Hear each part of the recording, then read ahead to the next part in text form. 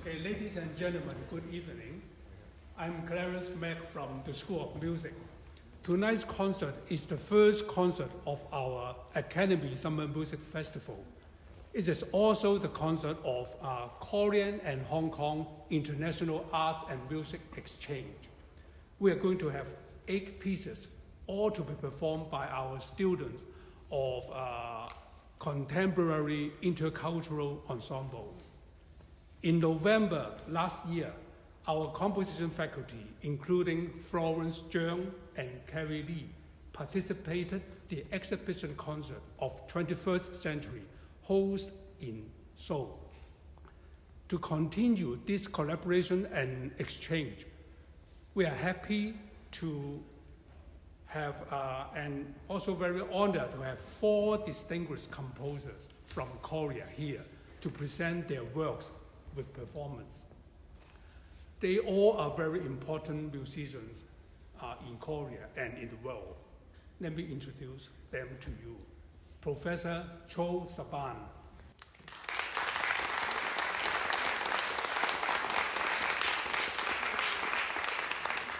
Professor Lee Kan Yu.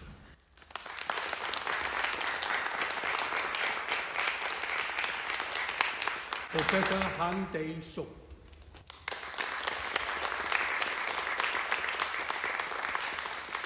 and Professor Lee Kong Lee Kong Yu, uh, Lee Kong Wu, sorry.